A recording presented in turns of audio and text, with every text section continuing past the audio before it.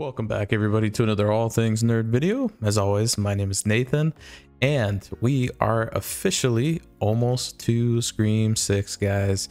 We got, I think, what, one more Friday to go? Or two more Fridays to go? March 10th, right? Yeah, yeah, we're almost there. Uh, I think yesterday was 18, so I think we're 17 or 16 days away. So we're getting close. The countdown is on. I'm excited. I got my tickets already. Uh, I can't wait to go watch the movie. But enough about being excited about the movie. Let's talk about the picture on the screen. We got to talk about Scream 6 being in 3D.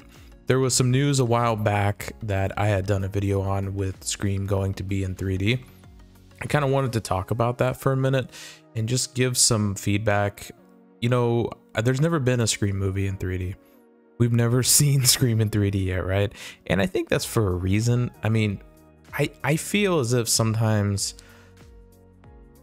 this is just me speaking personally, and it's nothing against the directors, nothing against Radio Silence, it's nothing against Paramount or whatever, but I feel like sometimes directors and producers and people who make the movie they don't know what to do so they just kind of slap on 3d on the movie and they're like 3d you know like oh let's put in 3d and these kind of movies i feel like don't need 3d you know? I mean is it fun because it's different Sure, right? It's going to be a different experience. We've never seen a Scream in 3D. My question is, how is this going to affect the movie? You know, um, obviously, I think with 3D, what they're trying to do is, well, let me say this.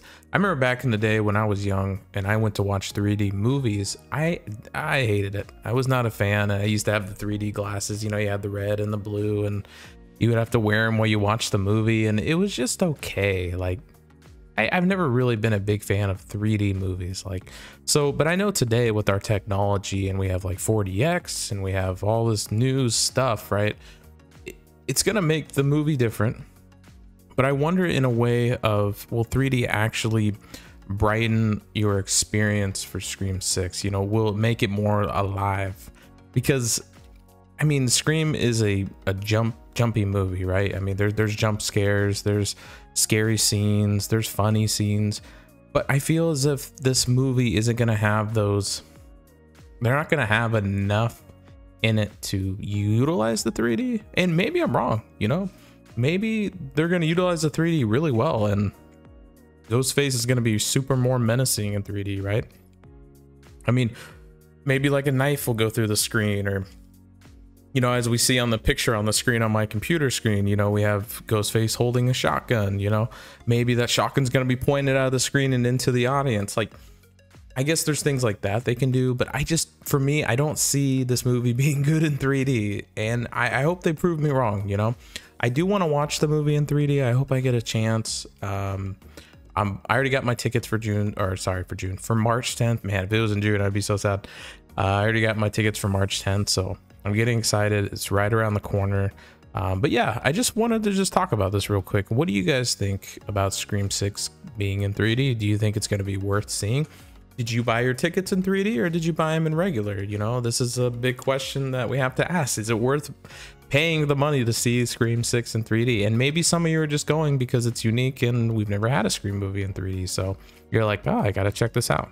But anyways guys i'm excited for the movie. We're almost there. The countdown's on. Uh, keep getting excited with me. We're going to continue talking about scream content. Uh, i've been rewatching the movies. I'm currently on scream 2 right now um, while i've been uh, yeah so. Anyways guys if you enjoyed this video please like the video. Subscribe to the channel. As always i am nathan and i will catch you on the next one. Take care